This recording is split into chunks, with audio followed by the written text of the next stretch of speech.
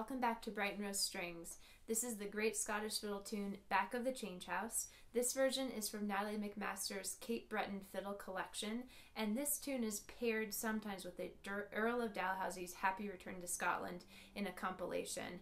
I will play this tune, Back of the Change House, through for you at quarter note equals 114. It's in D major and I'll play it twice. If you'd like to listen to the Earl of Dalhousie's, I'll put a link in my video at the end. Thanks so much for watching.